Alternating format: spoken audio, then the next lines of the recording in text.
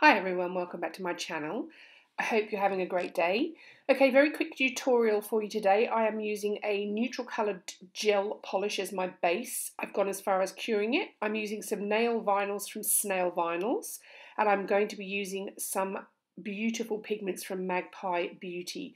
So I have four colours here and I'm going to use all four obviously and I'm going to press them into the tacky layer once I put the vinyl on. So I've got Connie, I've got Rita, I've got Gloria, and I've also got Amber. So there's some really lovely colours there.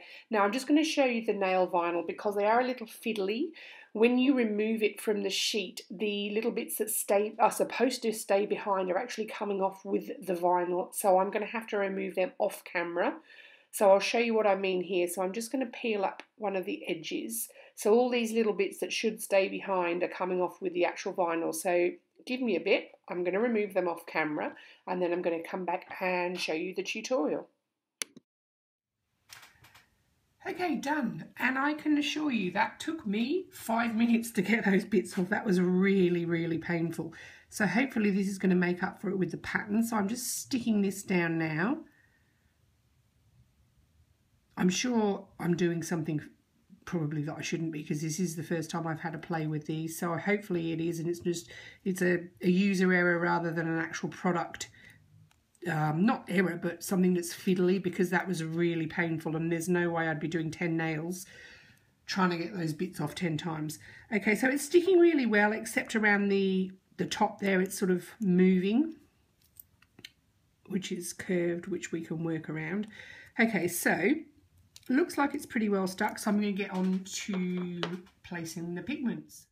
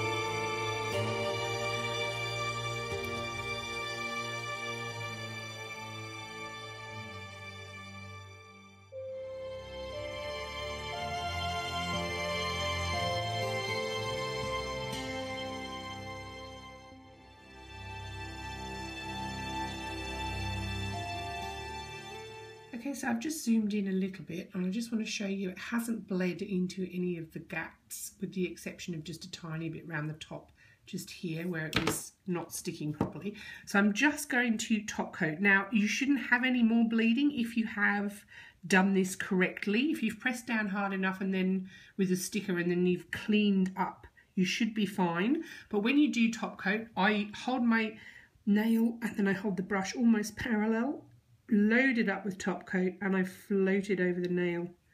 And as you can see, by doing that, it keeps everything in place.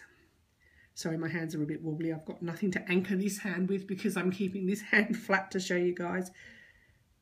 But once you're happy with your top coat, seal your free edge and then pop it in your lamp. Okay, so that is the finished design. I hope that is showing up well. It just doesn't look like it's showing up as well. It looks like it's showing up better when I tilt it like that. The colours I've used are gorgeous. The Magpie Beauty pigments are stunning, so I will link those below. I do like this design with the snail vinyls, but I must say it drove me potty trying to get those bits out of the actual little stencil that I was going to use. So, yeah, bear that in mind when you use those. I am going to do a bit more research and watch some more videos just to see because this is what it looks like when you take those bits out. And there's a lot of bits to get out. So hopefully there is a trick to doing it and I'm just being a bit special. But I do recommend them because they are nice to use. You can come up with some lovely designs. I am going to do some tutorials, as I said, coming up with these because I think there's a lot, a lot of stuff you can do with them. I'm going to do some with regular polish and some with gel polishes, some with pigments, some with glitters, just to give you a bit of a look to see what you can do. So guys, if you like the video, give me a thumbs up. Any questions or comments, pop them in the comments box below and I'll get back to you. I'll pop all the products that I used in the description bar. And please subscribe if you haven't already. And I will see you in the next one. Thanks for watching. Bye.